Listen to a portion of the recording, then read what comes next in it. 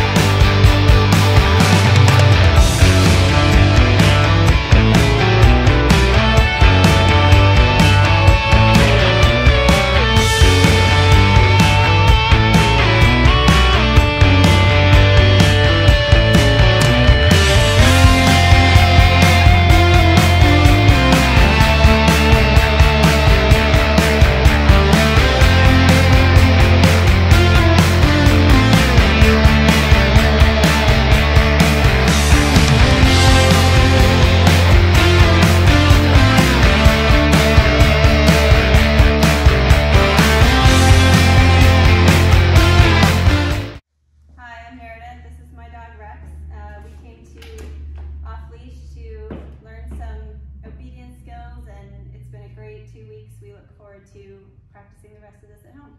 Awesome. Thanks so much.